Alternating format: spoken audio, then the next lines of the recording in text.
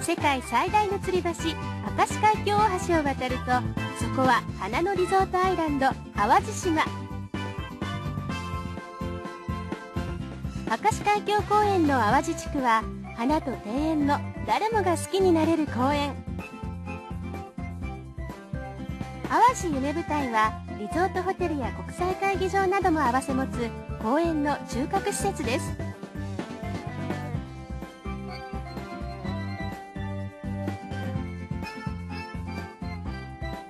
植物の美しさや不思議さを多彩なテーマで展示する奇跡の星の植物館。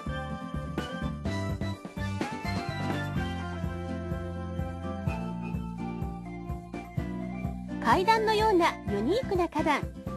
四季折々の花と緑を満喫できます。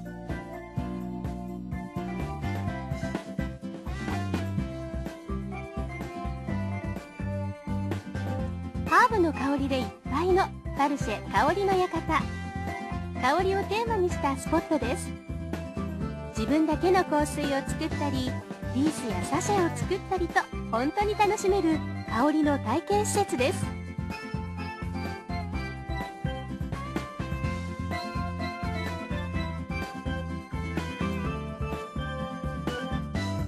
淡路ファームパークイングランドの丘は体験型の農業公園です。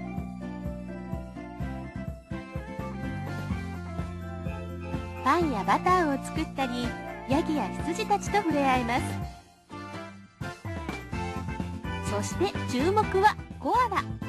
かわいいコアラはみんなの人気者です。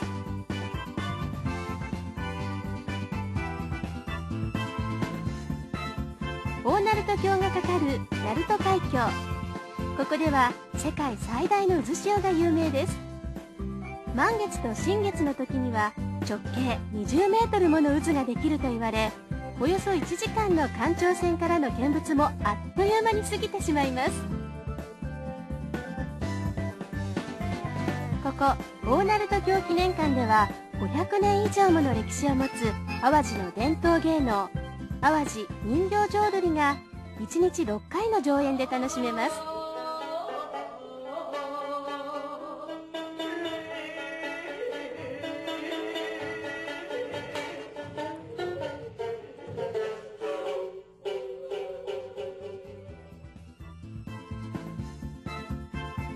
淡路島は穏やかな気候に恵まれ四季折々の自然の美しさがあふれるリゾートエリアです。